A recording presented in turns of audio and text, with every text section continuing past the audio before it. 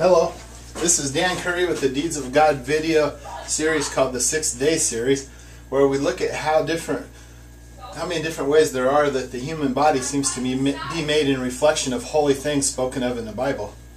Today's discussion is about the thyroid cartilage, which we call the Adam's apple. It's one of the most amazing things, actually, in this series.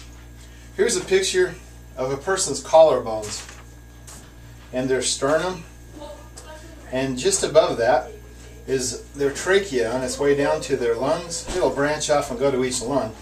But attached to the trachea, attached to the bottom of the thyroid cartilage structure, is the thyroid gland. And it kind of looks like a beard.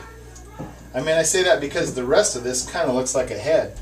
These are two cricothyroid muscles. They're called that because there's a kind of a wedding ring shaped cartilage that's like a ring and it's stationary right here. And this is your thyroid cartilage itself, your Adam's apple, and it moves up and down. These muscles help move it up and down. They bridge between the thyroid cartilage and the cricoid cartilage, so they're called cricothyroid muscles. And they are essentially red muscles against white cartilage once you get down to those tissue depths, if you were able to cleanly remove all the other tissue off of them. So you end up with the thyroid cartilage, which kind of looks multi-layered. You have a layer of cartilage, and then you have some membrane tissue between that and the hyoid bone. And these are like the horns of the hyoid, hyoid bone, they're called, you know, the horns. I don't know. They labeled it that. And this part that sticks up right there is the epiglottis.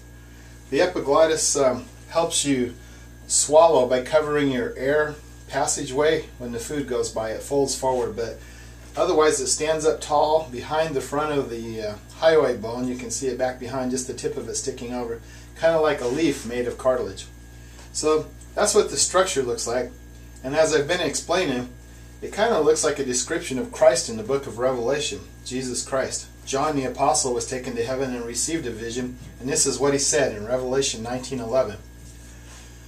Then I saw heaven opened, and there was a white horse. Its rider was called Faithful and True, and in righteousness he judges and makes war. His eyes were like a fiery flame, and on his head were many crowns. Well, I don't know if you would say this is many crowns, but it's definitely multiple crowns, if it was to be a crown at all. And fiery eyes, well, these are red muscles against white cartilage.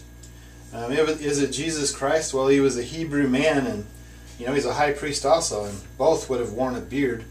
And he's riding out in victory to make war on the enemies of God. Well, the collarbones going off to the shoulders almost look like raised arms. And here in this picture I've just sort of depicted a man that's matching the general description of the vision. So in this particular case, if we were speaking the New Testament, we would actually be speaking it from our voice box, from our uh, you know vocal cords which are housed inside this structure. And so we're actually speaking the words of the New Covenant with something, a structure that looks like the author of the new covenant, Jesus Christ.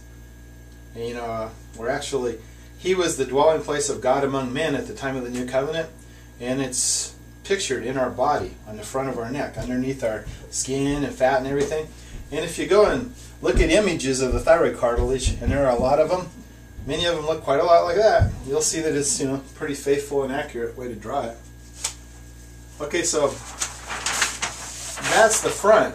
But what if you were going to go around to the backside of that same structure? Now you're on the backside of the thyroid cartilage.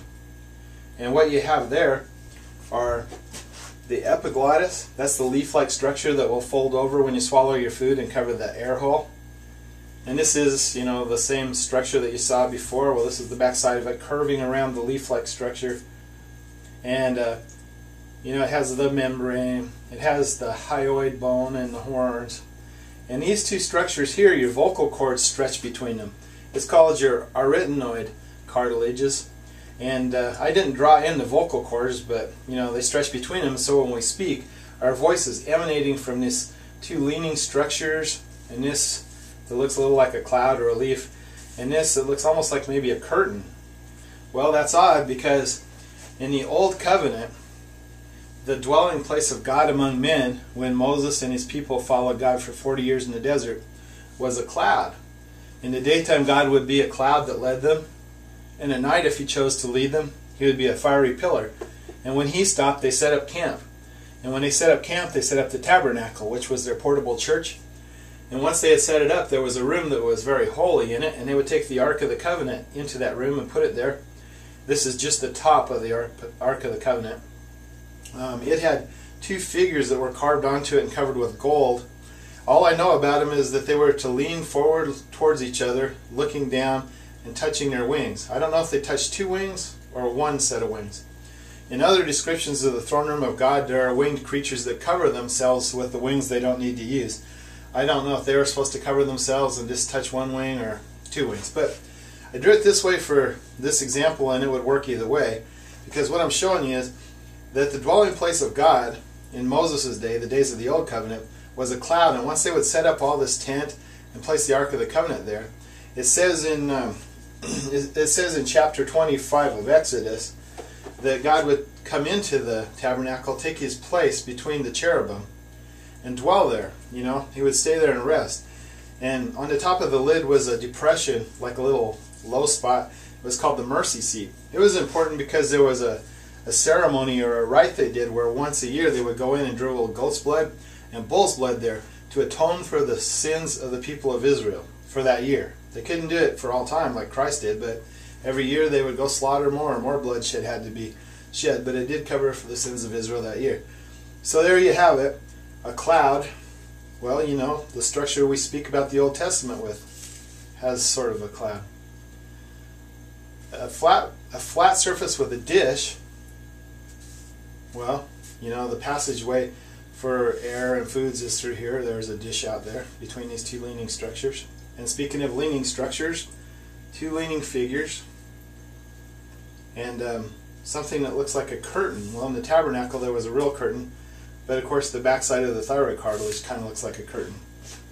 I think that given the importance of the Word of God, it is very, very telling and interesting that the Christian and Jewish understanding of God is portrayed in this structure, which is in the neck of every human being on earth, no matter what their religion, and it bears such a close item by item correspondence with Judaic things and Christian things.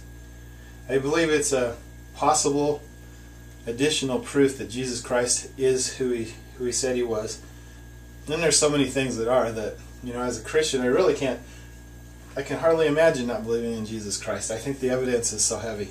But built into man from the beginning of time? Did evolution do this? I'm Dan Curry. This is a six day series video. Thank you for listening.